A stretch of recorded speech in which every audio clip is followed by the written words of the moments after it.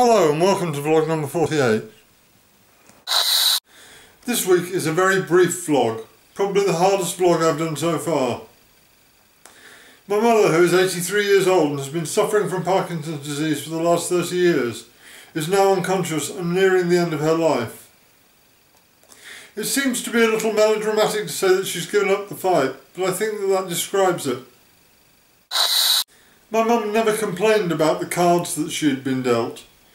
And that's why I never really appreciated what she'd been going through, until I, too, developed Parkinson's and got a little first-hand experience.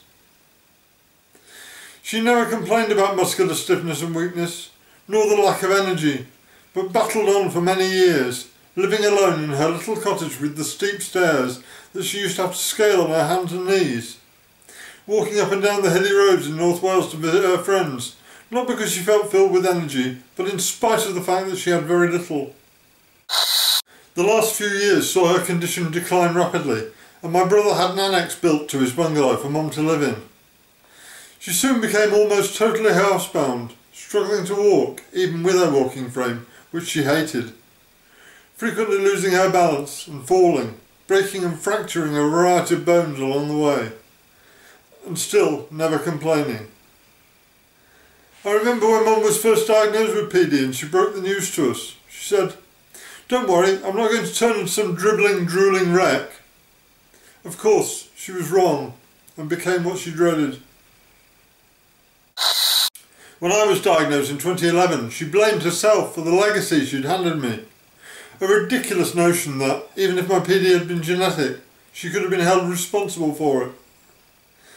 But we always want to protect those that we love, and I think she would have done anything for me not to have this damn condition. Over the last few years, Mum has had a number of events where she's been in a comatose or semi-comatose state, explained away by medical experts as Parkinson's episodes, on the basis that, apart from the Parkinson's, there was nothing wrong with her. Up until now, she's always recovered, usually within a few days. This time is different. She's been semi-conscious for over a week, and the last couple of days she's been unconscious. She's fading away before our eyes, and all we can do is talk to her, hold her hand, and tell her that we love her. She once said to me when she was having a particularly bad day, It's not worth going on, is it? I couldn't argue with her. And now I just wish her a swift end, no more suffering. Love you, Mum.